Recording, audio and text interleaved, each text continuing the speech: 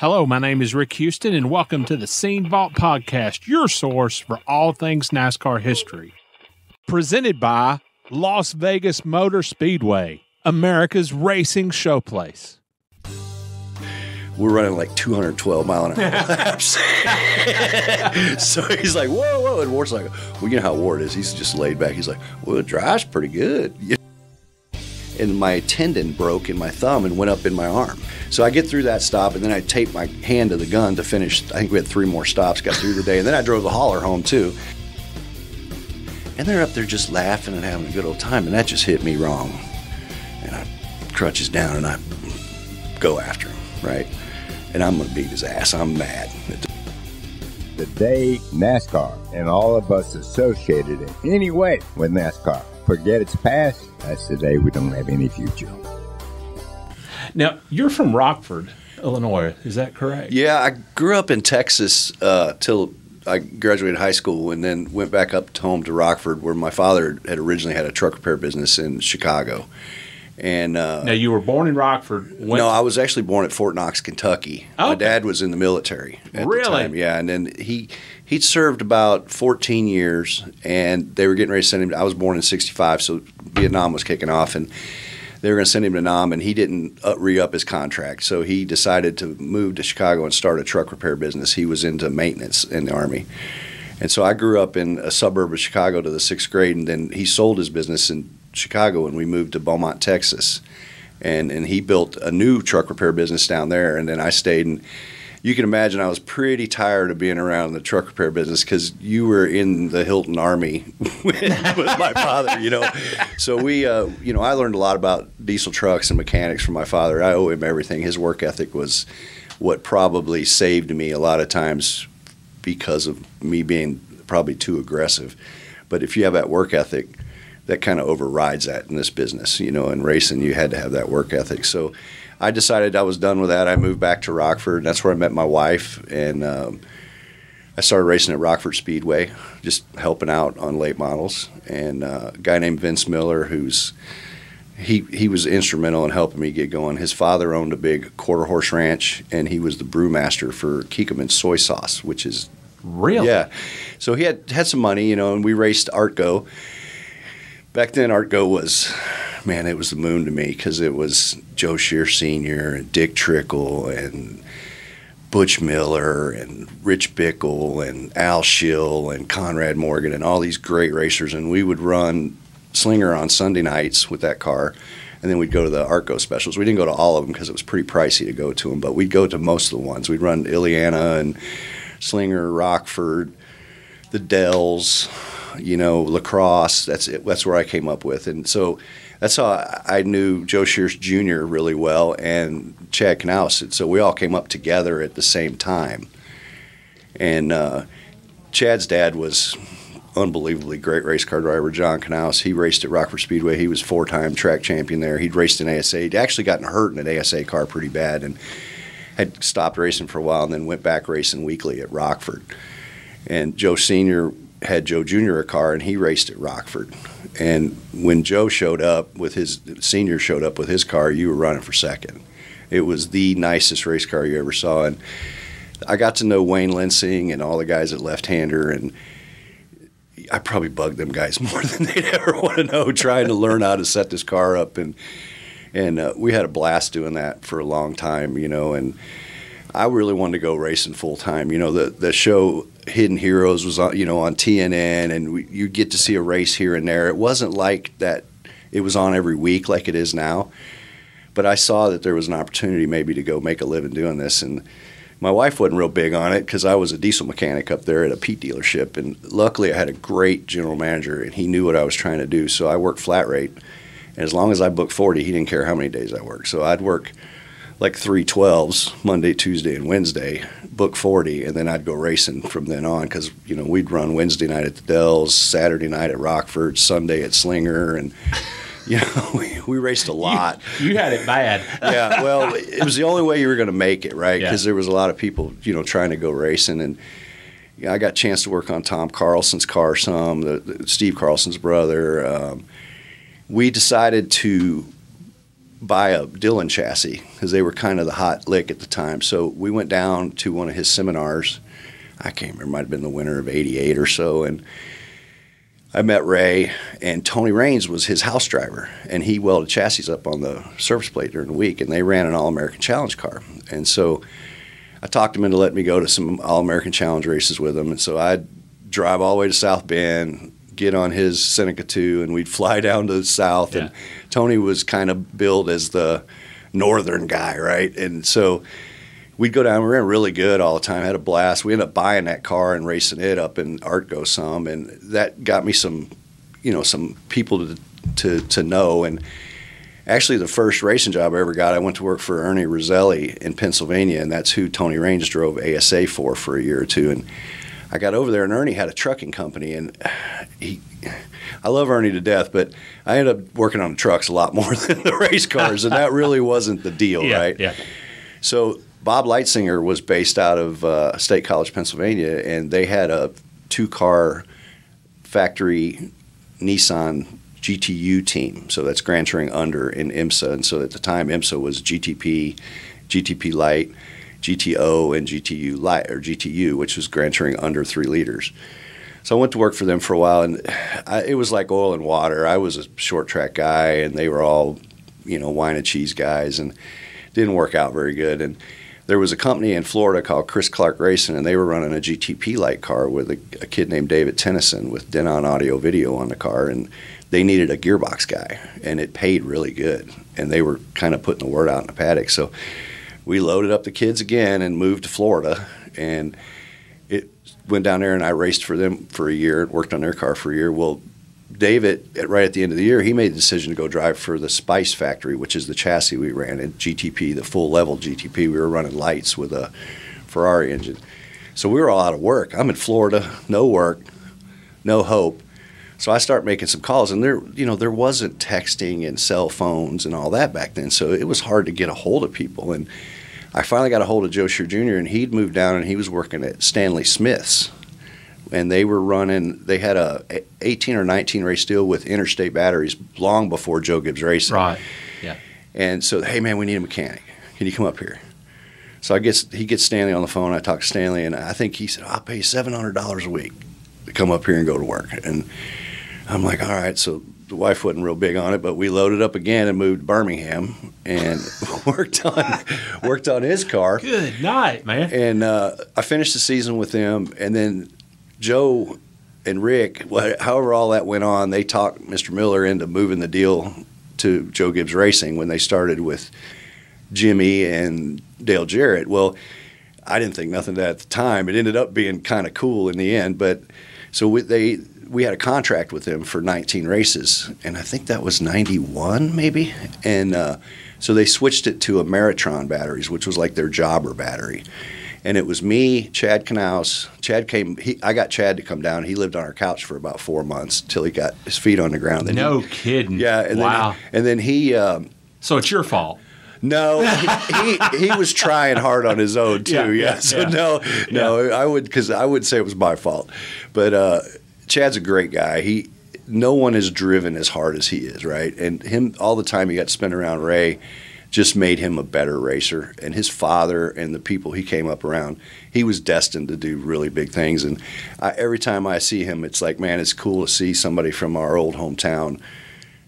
I mean, he's arguably the best crew chief there ever was in NASCAR, I would think, right? I mean, you got to almost say that he's definitely going to be a first ballot All Star. He's got or a Hall of Famer, right? Yeah. So I would Yeah. think that's that says a lot.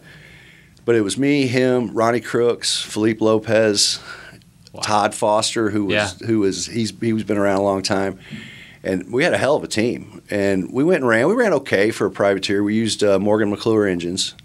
I spent a lot of time at Morgan McClure.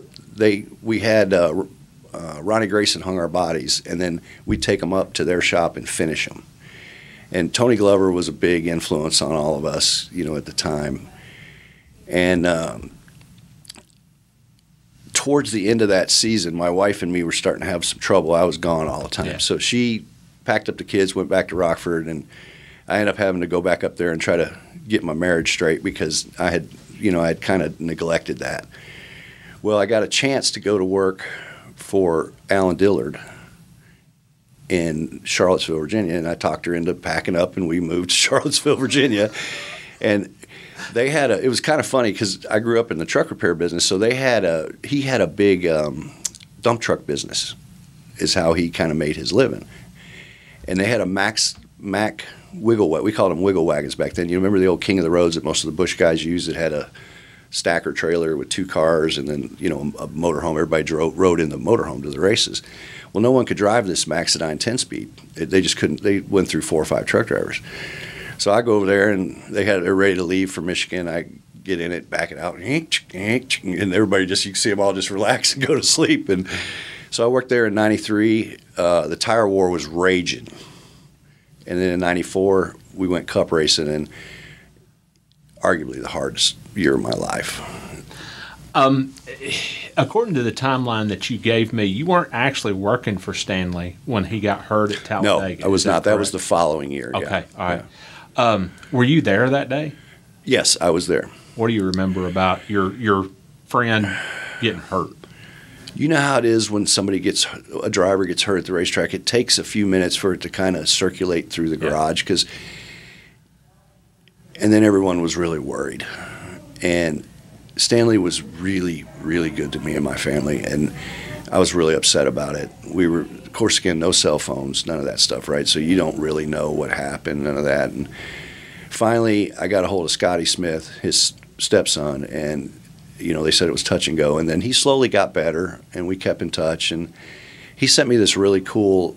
Uh, they did a story on the five of us that worked there I don't know, it's about 2000, and they had a picture of us, and they, it was in the Birmingham Press or Birmingham, one of the bigger newspapers there, and he had it all framed and stuff. And I called him, and he uh, he never was the same guy because you know he had some TBI involved in that, and so, but he always said the guy there was a there, I don't remember the guy's name, but there was a um, a paramedic that worked there that saved his life that day inside the car, and they got him out of the car and got him to the Birmingham. I think they flew him over there, and thank God they were able to save him. But you know that was beginning to show that the safety of the cars and the speeds we were running and the grip we were starting to learn how to make weren't matching up.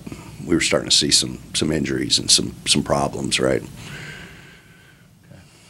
Well, uh, speaking of the tire wars. Um, you you said that that was probably the worst year of your life. Was that ninety three or ninety four? Both years. Both years. Yeah, because okay. we right. we were a when I worked at Dillard's, we were a, a factory Hoosier car, and Alan said this many times. We never would have been able to do what we did without free tires. Tire bills were really high at the time, so we always ran Hoosiers, and you know there were times it was a huge advantage, and we won some races doing it. But there were times when won some Busch races. Yeah, yeah, okay. and and and there were times that it was the worst day of your life. We went to Darlington, sat on the pole in the fall of '93, and in 15 laps he's screaming for tires. We only get four sets, and it's so Newton will not allow you to stop racing. You can't park it, not and say the tires are the problem. So we're we're mounting tires as fast. We only got like six sets of wheels with us. You carried all that stuff with you, right? And we can't hardly get them mounted fast enough. We're starting them on. I think we were 63 laps down with all the penalties before it was over with. So it, you know, you're talking about some long days, and then blowing tires, big wrecks, crashes, cars getting tore up, and you know, there's seven or eight of us working there. We got maybe five or six chassis, and the next race is coming. So you got to get something together to go race, and I was really proud of our group because we, um, Freddie Fryar was our crew chief, great guy. He's from Beaumont too, so you know, we worked. I can't even imagine how many hours we worked to stay in there, and we ended up second in the points. And I really think we'd have won the championship that year, but Steve Grissom was on Goodyear's, and he just kind of rode around. I think he won one race that year, maybe two and they were just a little more durable. And the races where we had trouble was enough points lost that we ended up second in the points. And then a really funny story. I drove the hauler still a little bit, and they were going to get a full time hauler driver for '94 for the Cup deal. We were going to run for Rookie of the Year, and Hardee's was going to sponsor us. And we had good budget. Everything was good. We did everything we could. We had some people. So I had to go down and do the tire test, and we didn't have a speedway car ready yet. So we took a downforce car down there and Freddie had left to go do a truck deal, and I think Tom Fox had become our crew chief. So we get down there, and Newton's down there, and it's just me, and another guy, and and Tom and Ward. We pull this downforce car out. And he goes, "What do you What do you want to do?" He goes, "We just need to run pole speed, and you know we'll test it that." So Tom's like, "Well, just put a bigger plate on it." And I'm like, "Well, what plate you want to put on it? Because it's a downforce car. It's not going to run." So he throws me like an inch and a quarter. I put it all together, get warmed up, get ready, get scaled. Ward gets in it, goes out. He goes by once, goes by twice. Here comes the track people. Stop! Stop! Stop! we're running like 212 mile an hour laps. so he's like, whoa, whoa. And Ward's like, well, you know how Ward is. He's just laid back. He's like, well, it drives pretty good, you know, because it's down. So we back the plate off and get it down. But I thought it was kind of funny. They were flipping out that we ran that fast. So that's probably the fastest laps I was ever involved with in NASCAR. And it, nobody even knew about it. It just happened at a tire test. you know That's the worst Ward Burton Im- imitation I've ever. I'm heard. sorry. I'm not very good at it. He's a great guy though. Yeah. He, he was he was a, he was a damn good race car driver. He could he had a great feel, and uh, I think the Hoosier War tire war. This is my opinion. Shortened his career a little bit because he had some really big impacts in '94 because of blown tires, really big, and I don't think everybody understood what that was doing to the guys yet. You know. Tell me a good Ward Burton story about what it was like to work with him. he brought his family a lot and his kids, and he was always real family oriented. And him and Freddie, he when we were Busch racing, him and Freddie would get to arguing on the radio, and a lot of times it was about stagger because we were still kind of running bias tires a lot on the Grand National cars, and he'd get to yelling and hollering in that country accent, and you couldn't understand. What the faster he tried to talk, the worse it got. and so, yeah. Finally, Freddie come on the radio. He goes, Ward, I do not understand what you're trying to say. We're going to open a stagger up, and you're going to drive it. And he didn't say a word the rest of the race. but he he was he was always pretty calm. You know, great to the team. Yeah. You know, he'd show up with burgers. He'd take everybody out to dinner. He's just one of them guys. You know, he, he's a guy you like to work for you went to work with Mark Martin and Roush Racing in 1995, and that was obviously a step up the the competition ladder. Yeah. Uh, did you feel any kind of additional pressure to perform, or was it just part of a natural career progression for you? Well, it was. Uh, I think what had happened was Steve was still changing fronts. Steve Hmiel was still changing fronts, and we'd pitted around them a few times at the end of the '94 season, and I'd gotten pretty good changing tires. I'd really worked at it because I was doing Grand National races. Philippe would let me do Grand National races on Saturday, so I'd done a lot. I'd gotten to be pretty experienced, and I, I really think that's probably why they offered me the job to start with because he was wanting to get off the box, and there's a really funny story about this. So we went to Atlanta with the Cup car the last race of the year, and I'd had the job. We went down and tested, and that's when they hired me. So I was finishing out the season at Dillard's, and I was going to start December first at Roush, and they were in Liberty at the same at that time. And we were cooking along there, and I had hurt my thumb with a we were at a fishing deal and I cut my thumb and the guy thought it was okay and well I get through about the fourth stop and I got stitches but I'm okay I'm changing and my tendon broke in my thumb and went up in my arm and I, so I taped my shit to the gun and You're in a stop.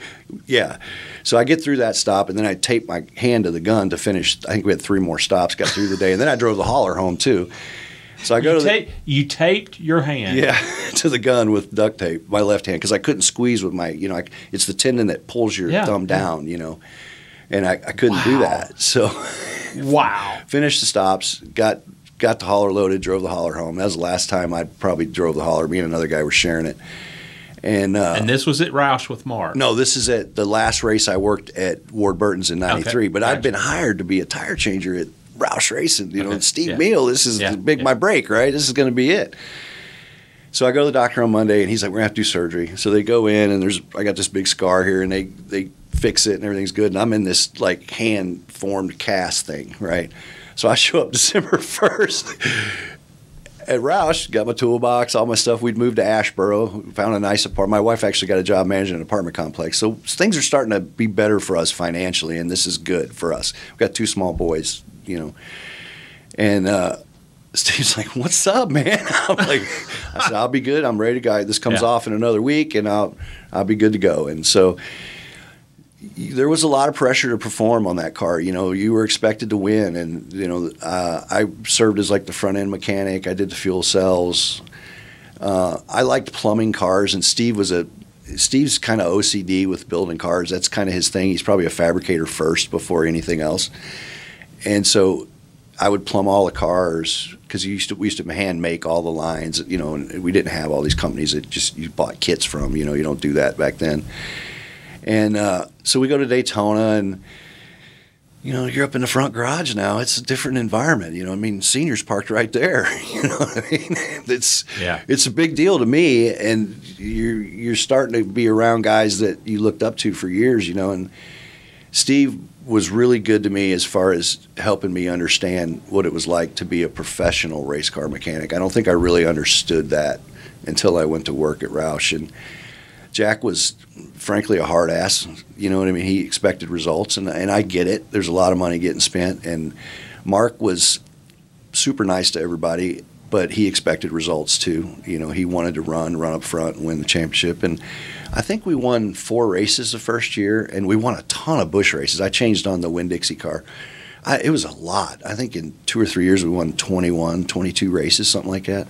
So for me, it was a very hectic time because I was working on a cup car. So we would typically, the Busch race was right before happy hour. The cup cars would run their last practice right after the Busch race. So we'd get busting our butt to get the car ready, and then most of the guys wanted to kind of watch the race or at least be about. Well, I had to go change, run up to pit road, and I'd usually they'd be taking the green when I'm plugging in, getting ready, and um, Bobby Leslie was the crew chief on that car, but Steve called the races. So Steve always went up and he talked to Mark on the radio and did the strategy and all that stuff. So we'd do that, bust our butt, win most of the time. I mean, a lot, a lot more than not. And then it was kind of a cool thing back then. A lot of times when Mark would want run, all the cars would pull out on pit road. I know you remember this, and they would be ready for happy hour, Yeah, right? And yeah. most of the fans would stay and watch happy hour. You know, it was kind of a two for one deal Right, back then. It was great. There were times when Mark would win, and everybody would wait for Mark to get his pictures made, get in the car, and our truck driver would drive the car up because he went out by points, right? That's how you went out. And we were always in the top three or four points. And they would wait and let Mark get in, and then we'd go. And I don't think they do that nowadays. Yeah. But back then there was like a there was more of a camaraderie between the teams. There, we were we were putting on a show and we were racing against each other, but you were more apt to help somebody than not. And I don't think that's the case anymore. From my last few years in the in the in the series and in NASCAR, it was it's gotten to be a pretty pretty cutthroat deal. You know what I mean? So, and I get it. There's a lot of money involved now, right? So, but that was always cool to you know. Then you pop your gun at the white flag. I never went to Victory Lane. I don't think I have one Victory Lane picture with that car, and, and I changed tires on a lot of them, and then run back, change back into my Valvoline uniform, and work happy hour. And this is back when we're you know we're changing engines two or three times. The the qualifying setups were just crazy. We were taking stuff out of the car, putting lead in the frame rails, running two or three ga- you know gallons of fuel, and so you had all this workload plus having to go up and work the races. So I don't know if the your original question about the pressure, yeah, you felt it, but you're just so damn busy. you had to Yeah, just go and do yeah. it, right? Tell me about Mark Martin, the competitor. How how intense was he? Fierce. I mean, fierce. He, I, I think Mark hated to lose more than he did loved winning. Yeah. and he hated to run bad. Like he wasn't that bad if we ran in the top three or four and we were competitive all day. You know, he wasn't happy, but he, he wasn't miserable either. But we go run ninth, tenth, twelfth, and just to us be struggle all day. That was not going to be good.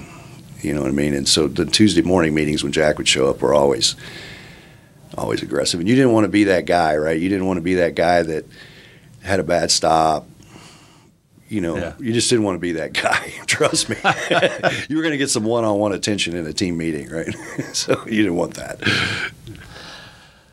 From the sound of it, uh, Mark was also a little bit of a peacemaker. at one point between you and Jeff Burton. Yeah, we, I, I got to hear that story. this me and Jeff are friends now, but there was a time when they first started the 99 car, Jack had a different way of motivating us and he he pitted us against each other. Now that I look back, right? So it was you know, Liberty against Mooresville basically, right? Frankie was the car chief on that car and uh, I didn't care for him. He was very tough, aggressive Yeah. New Englander. I respect him a lot for what he's done, but we never never saw eye to eye. Buddy Parrott was a good guy, but he was always the backslapper, you know, and and and Frankie was the driver of the, how it went, right? So we raced each other really hard, probably harder than we ever should have. And we're at Charlotte one night. There's a lot of animosity between the teams. Well, for some reason, Buddy picks right in front of us on pit road, and you don't do that. You don't pit next to your teammate. That's like an Yeah. unwritten rule, right? You just don't, you're just asking for trouble at this time in racing, right? So we're running better than them. We qualified better than them. I don't know. We're running probably top five. They're running seventh, eighth, and so when you s- jump off the wall, I was changing fronts. When you jump off the wall and you you start, I start looking for my first mark, which is the hub cap. I can see Jeff coming, right? And it's a night race. This is a 600, and he's got a clear visor on. He's looking right at me. I'm, he can say he wasn't, but I know for a fact he was, because you know when somebody when you make an eye contact, right? So he's brushing me back, and what he's doing is he's turning into a stall early, and he's forcing me to kind of stand up and not get down like I want to, where I want to be off the tire in a good position. So this is really hurting our pit stops because I can't do anything. And Steve's Mark's bitching because he's losing spots, and Steve's grabbing me, you know, by the shirt. You know, what's wrong? What? And I start explaining to him, and he's mad, and I'm mad. Everybody's mad at this point, right? Because he's kind of screwing up our race. Well, it's about the fourth or fifth stop, and we had we'd probably gotten up to second or third. We had a really good car that night, and he was probably dropped a couple spots, and I had gotten down. I was hitting. I hit about the third or fourth lug nut coming off, and he runs over my right heel and foot with the left front tire, the pipes, valence, left rear tire, and man, it it hurt. It messed my foot up. So I stumble around, finish the stop, and of course they cart me off and take me down to that little hospital down there in Concord at the time and X-ray it. Nothing's broke, thank God. It it just barely pulled a little bit of my Achilles tendon off my heel, just a like it a fracture. They call it a micro tear. So I'm still in my fire suit, right? I'm on crutches. I come back. My wife's at the race. It's Charlotte, right? So the whole families are there, and Charlotte was a big deal to us because that's when all of it, you know you're racing in Oh, front yeah. of everybody, Yeah. right? Charlotte was kind of the the race, right? So we get, uh, I get back and I'm on crutches, and it's a rain delay. It started raining, so I'm going up to the trailer to change and go home. Right, my wife's there; she can take me on home. So I'm going up in the trailer. Well, Mark and Jeff are standing at the very front where our shock station was, right before you went up to the lounge, and they're up there just laughing and having a good old time. And that just hit me wrong, and I crutches down and I go after him, right? And I'm going to beat his ass. I'm mad at this point, and uh, I'm just red, right? Completely dumb. I should have never done it, but I did. So I get a shot or two in. Jeff does. We're scuffling and the whole deal. And Mark breaks us up. Well, Jack's up in the lounge. Hello. So he pops down, and this is not good. Wow. Right? So he makes Jeff leave, and he takes me up in the lounge, and I explain to him the whole deal, and I figure I'm fri- I'm gonna get fired Yeah, on Tuesday. yeah. I figure I'm done, right? But I, I'd lost my cool. What are you gonna do? I probably lost my cool four or five times in my career, and it was not good. Probably kept me from ever being a Cup crew chief. It is what it is. So we get there on Tuesday, and they pull me in the office, and they're like, "Look, we understand what happened. Can't happen again." And that was it. I was shocked. And I still believe to this day the only reason that was is because I was pretty good changing tires, and it, it was kind of hard to replace that in the middle of the season. so, but me and Jeff made All peace, right, and we yeah. had Jack made us the next race. We got together and talked about it, and I don't think Jeff would ever admit to this day that he. I don't think he did it on purpose, but I think he was trying to get as close as he could. And a a lot of people might say, "Oh, that's bullshit. Them drivers wouldn't ever try that." And I'm like, "Yeah, they would. It happens all the time." Really? Yeah, I'll tell you another story about Ernie Irvan. So Ernie and Mark were really good friends. Yeah. Like too good of friends to be racing each other all the time. So of course they were going to race each other harder than they ever raced anybody. Same deal. They're pitted in front of us. They, Ernie keeps brushing us back, brushing us back, and Steve Spar, who's one of the greatest jackmen had ever lived, he actually passed away not too long ago with a heart attack, which is a shame. He's a great guy. He was jacking and he knows what's going on. He can see it, the whole deal.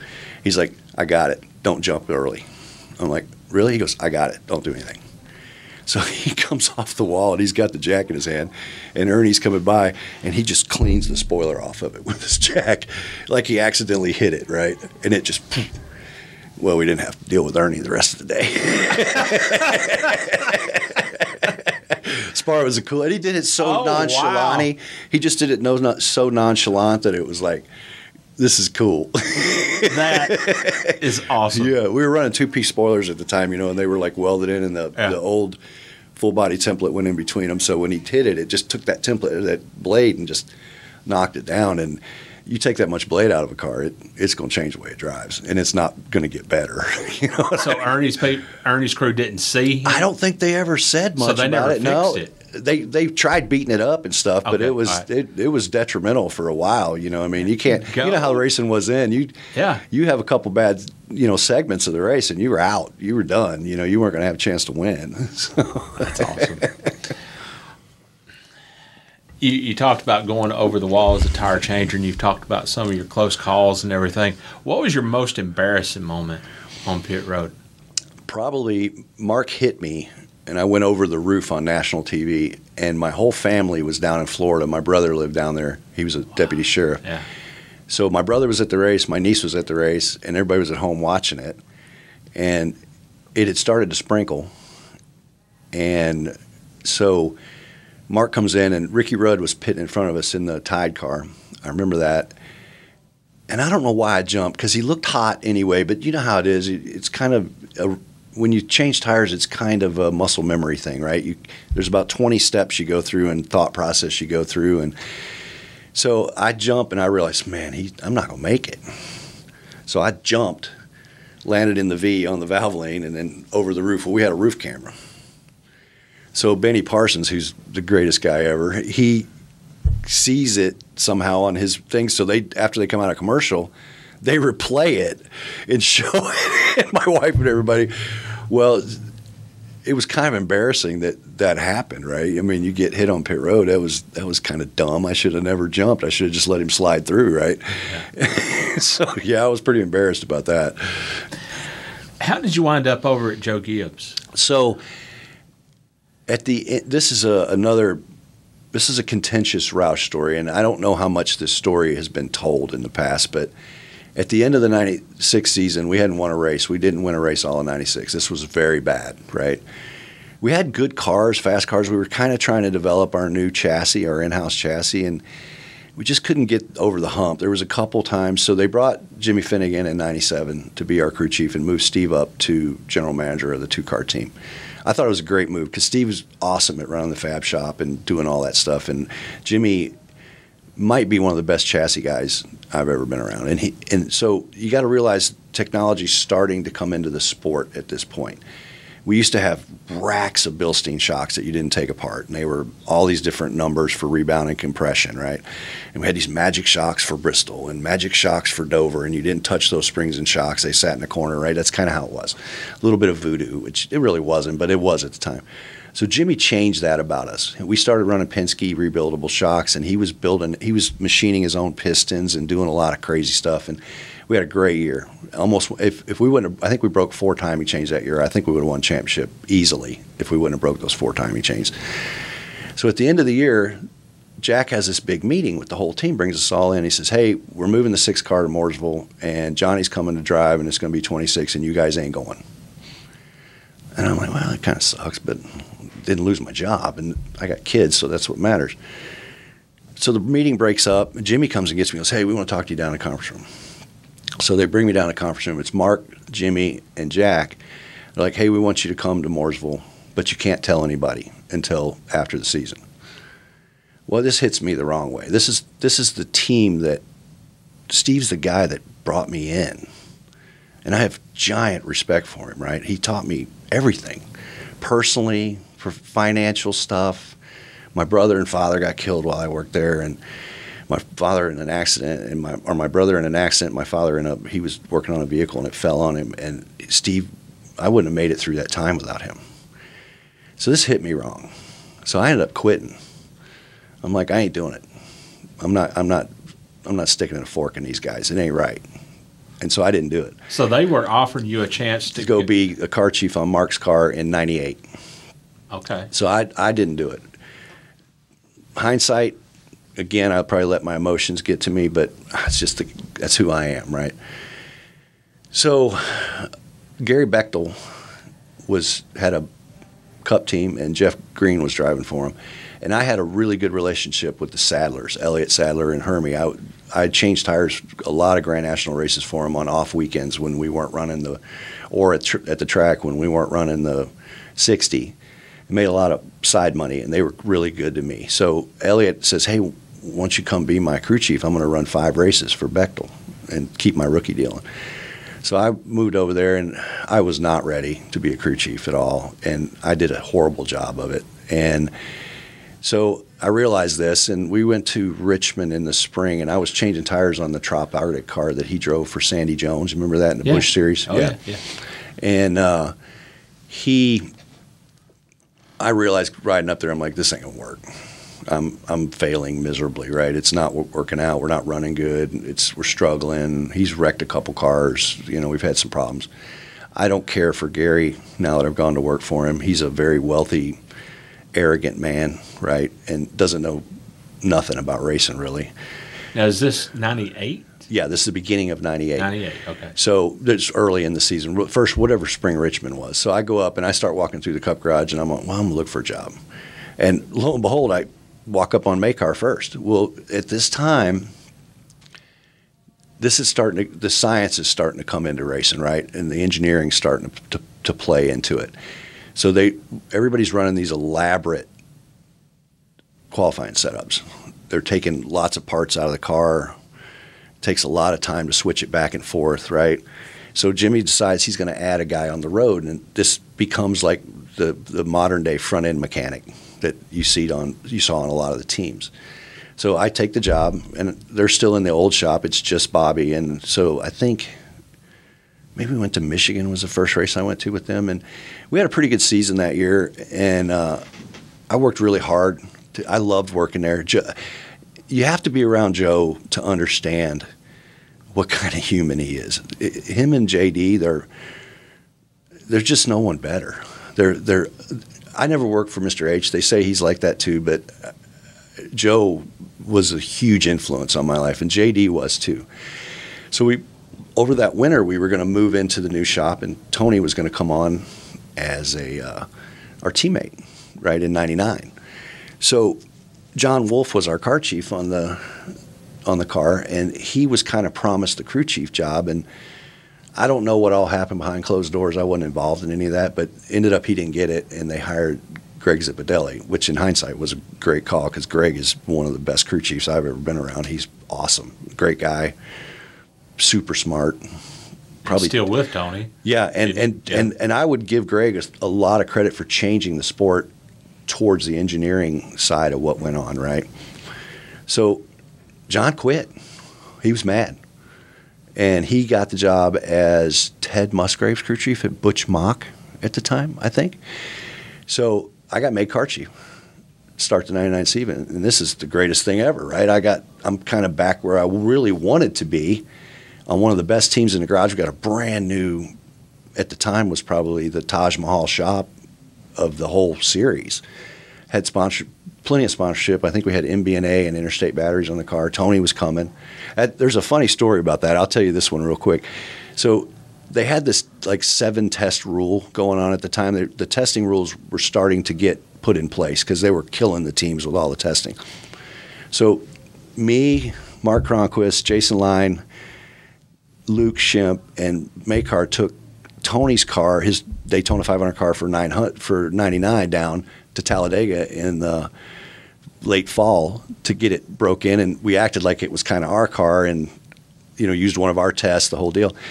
So Tony shows up down there, and this is the first time I'd really been around him a lot, and and So it starts raining. And so we're gonna we're running. Of course, you're gonna get the rental cars out, right? We're making laps around there. So I don't know. Tony's one of the greatest guys there ever was to be around. He he really can't sit still. He likes Tony to Stewart. Yeah, he likes to be doing stuff all the time, right? So he gets this deal together. He's like, "Let's all make a lap. We'll time it, and the slowest guy has to buy dinner." And we're like, "Okay." So we all go out, and, and these things it, In I the think- rain? No, it, it stopped, and we're Okay, trying okay, trying to track, you know.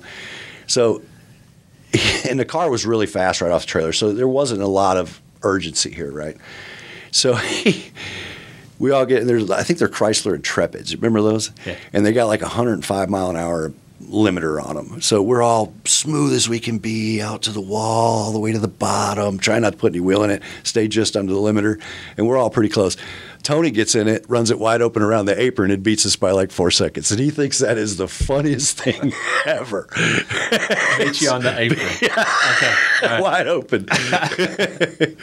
I'll t- I'm going to tell you one more funny story about him. I, I don't want to not tell this one because it's really, really funny. So when I, the last year I changed tires competitively, they put together kind of a put together crew to change on the. Remember when Tony drove the Shell oil car for Bobby Right, in yeah. the Busch series? This would be '98, I guess, right? Yeah. Yeah.